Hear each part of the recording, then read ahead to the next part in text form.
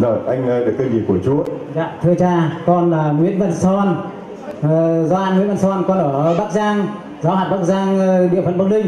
Con vừa vào hôm ờ, đầu tuần, vợ chồng con vừa xuống xe tối nên là có một tin ở ngoài Bắc điện vào ngay cho con là mẹ vợ con bị tai biến, vợ chồng con sửng sốt, tâm lý hoang mang quá. Thế là tối hôm đó con và vợ con làm ờ, ờ, lòng xương chó xương xót Chúa. anh làm thính chó à? nghe tin. Nghe tin vợ ờ, mẹ vợ bị tai biến hoảng hốt quá làm thí chó. Rồi anh nói lại, anh nói lại. Đó là anh ấy nói lộn thôi. Chúng ta nghe lại nghe lại nha. Ngồi xuống. Không nói chuyện, nghe rồi chúng ta nghe tiếp Thế thì sau đó là làm cái gì nói lại làm cái gì Dạ, lần ờ, chuỗi lòng thương xót Chúa. Vâng. Thế thì từ hôm qua đến giờ là điện về là mẹ con được ơn bờ, là Chúa cho được ơn ngay. Thế là từ đó là con và con mừng quá con bảo Giêsu là Chúa con Chúa đổ hồng hơn Chúa cho mẹ con nuốt thế này con tiến thác vào Chúa tuyệt đối. Còn trước là, là con chỉ lơ mơ thôi. Thế thì là ơn đấy là con bảo lên xin cha lên làm chứng luôn đi. Đấy đấy là ơn thứ nhất. Và ơn thứ hai con Hallelujah để sốt sột sột rồi. Vâng, thế ơn thứ hai con.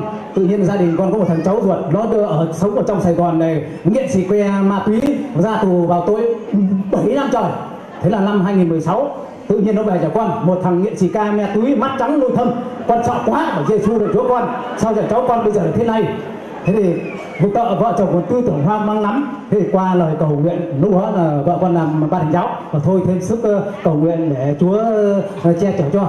Thế là con cháu con bây giờ là uh, che chở được rồi. Nhưng mà cái cái ma quỷ cám dỗ nó đến vẫn tận tận nhà. Nó bảo là anh hùng anh phải đi theo đường con đường cũ anh chịu trách nhiệm là vận chuyển ờ, ma túy ờ, từ móng cái quảng ninh về hà nội là đường dây hà nội chuyển vào miền nam. Thế là con ờ, cháu của con bảo là cậu mà ơi con đi làm một ngày có, có được một trăm rưỡi thì bao giờ có tiền?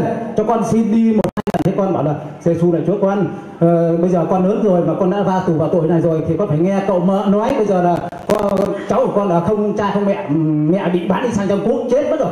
Thế thì cháu con lớn, lớn ngoài 30 tuổi rồi thế thì về đến nhà cái thì mợ khuyên răn bảo thôi bây giờ mày nghe mợ mợ đang làm ờ, ban hành cháu thì mợ sẽ trình tra xứ cho con xưng tội. Thế thì cháu con bảo giê-xu đại chúa con ờ, con chả biết xưng tội thế nào cả con nhiều tội lắm. Trừ mỗi cái hai cái tội là uh, giết người và hiếp dâm rồi không không mắc thôi. Thế còn toàn bộ là mắc hết. Thế thì mợ toàn bộ là mắc hết. thế là mở xét mình cho vào trình tra xứ. Tôi báo cáo với cha và cộng đoàn là ờ, cháu của con là xưng được là hai năm năm ờ, đầu của chay vừa cũng này phải xưng tội. Thế bây giờ là được ờ, ơn ờ, của chúa soi sáng là cháu con đã trở lại người lương thiện và làm ăn. Bây giờ là có tiền gửi đến cậu mợ để cuối năm lấy vợ và mua một cái xe tay ga rồi. Thế con rất là phấn khởi và con cảm tạ ơn chúa và cha cộng đoàn đã cầu nguyện cho gia đình con và che chở cho cháu con được uh, ăn năn trở lại xin là hơn 30 năm. Nó sống ở cái nhà bè này cũng có thành phố Hồ Chí Minh cũng có Cà Mau cũng có tinh đi là bán uh, thuốc nắc thuốc đá khắp cả ở trong thành phố Hồ Chí Minh này. Thành con hết ạ.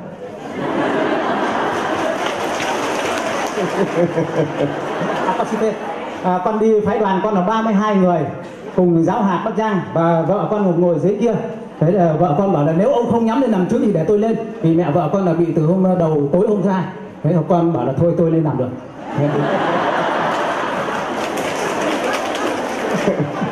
tôi gửi tặng cho bà bà cụ nhá gửi tặng cho bà cụ cái máy nhá. Chúc mừng bà cụ đã được Chúa chữa lành khỏi bệnh à, tai biến. Và đây là cuốn sách con đường tin thác với à, CD đi kèm trong đó.